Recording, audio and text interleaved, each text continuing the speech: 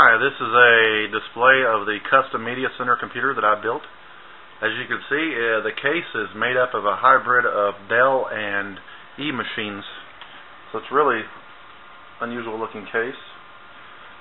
It consists of a wireless mouse. It has USB working dongles on front, a built-in speaker. It features Media Center 2005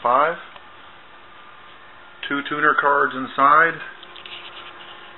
a S-Video composite input, another S-Video input, speaker output uh, in the back, a headphone plug in front that automatically shuts the speakers off, both a HD and two composite tuners, and it uses this remote to control it. As you can see, I have it in Media Center right now, and I can watch live TV with it. I can watch radio with it. I can even plug in a memory stick like this one right here. And it will automatically give me an option to play the music off of it. See the play music?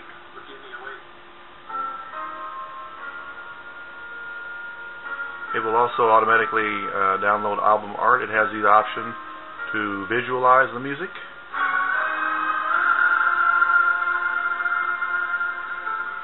And I have another optional program called Orb installed that allows me to stream all my media, including live television, to any computer or handheld device in the world.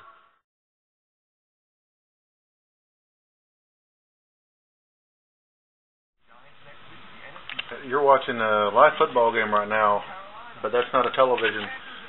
That's actually a Mac Mini computer. It's having live video streamed to it right now. Don't believe me?